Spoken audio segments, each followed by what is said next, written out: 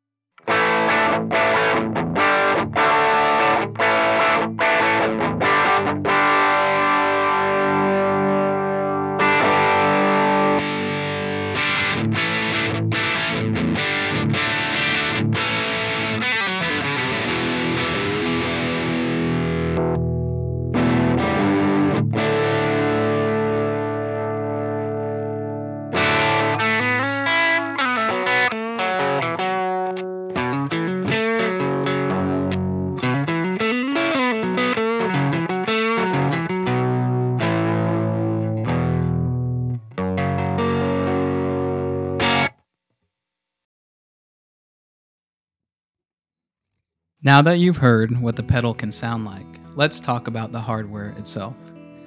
The name SoundSketch comes from the fact that this is not for just one pedal idea, but as a platform for quick prototyping of different effects. That's why I don't have specific labels for the knobs, they are just knobs 1 through 6, and the toggles simply have three dots to indicate their three positions. I'll mainly be creating guitar effects, but I'd also like to explore keyboard over MIDI and even effects intended for vocals or other instruments. The enclosure is a size 125B with drilling and UV printing services from Tayda Electronics. Now let's talk about the PCB. This is a four-layer printed circuit board that provides knob and switch control input, audio buffers, quiet true bypass relays, LEDs, MIDI, and expression. I started with the open source Daisy Seed Projects PCB, the one with the screen, and made modifications to the KiCad schematic from there. I really like that pedal. In fact, I've built four of them, but there are a few things I wanted to change to fit my own preferences as a pedal builder and musician. The first change I made was to remove the LCD screen. Screens are convenient and often necessary for multi-effects, but from an aesthetic standpoint, I don't really like screens on my pedals. So I removed the screen and the encoder, which is used to navigate the screen, and that freed up some room on the board and also on the Daisy Seed GPIO pins. Removing the screen from this design also freed up memory on the Daisy Seed, and to a lesser extent, processing power, that I can now use to focus solely on programming audio effects. The next thing I wanted to do to this design was add expression input. I really like having an external expression pedal. It adds so much control over effects, not to mention, if you're in the middle of playing guitar, you don't want to bend over to turn on some knobs. I also wanted to use the full-size 1 4 inch jacks instead of the 1 8 inch jacks for both expression and MIDI. These take up quite a bit of space on the board, so other changes were made to accommodate the larger jacks. I decided to move both the MIDI and expression circuits underneath the daisy seed.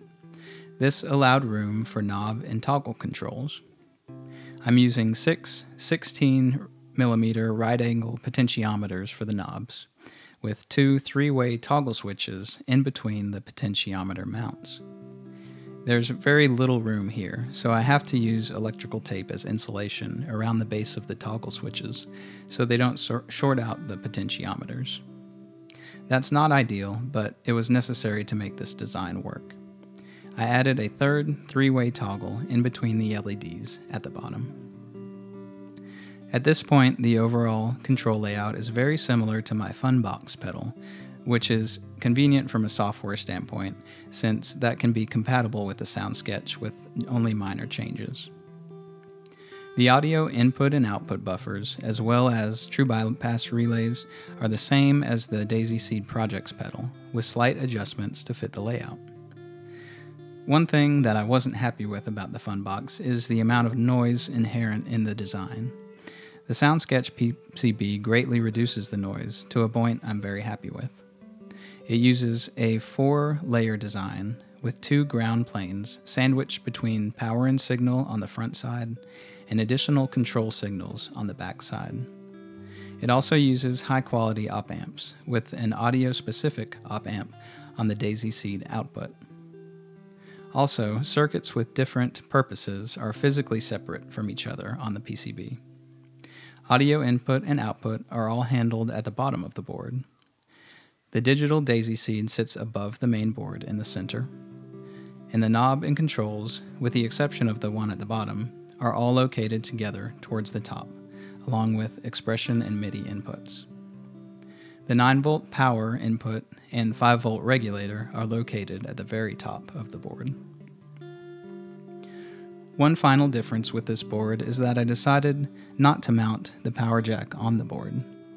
One reason for this is space on the PCB, but the other reason is because with these DIY pedals, it's hard to have internal jacks mounted on the PCB to line up perfectly with the cutout in the enclosure.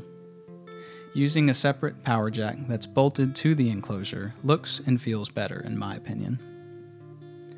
I also decided not to have a cutout for the Daisy Seed USB port. This means that I do have to physically take the Daisy Seed out to flash new programs, but for aesthetic reasons, I don't like to have the cutout going to the internal port. Speaking of the Daisy Seed, I wanted to give a brief overview of that board, as some people may not be familiar with it. It's a product from a company called Electrosmith, and it was designed specifically for digital audio effects. If we look at the board itself, it is as small as a stick of gum. The main processor is an M7 Cortex chip, which is the most powerful member of the STM32 microcontrollers offered by ST Microelectronics. It has 64 megabytes of dynamic memory that you can use for delay lines, audio samples, or other kinds of data structures. It also has the audio codec, which provides stereo analog to digital and digital to analog conversion at 24 bitrate and 96 kilohertz sample rate.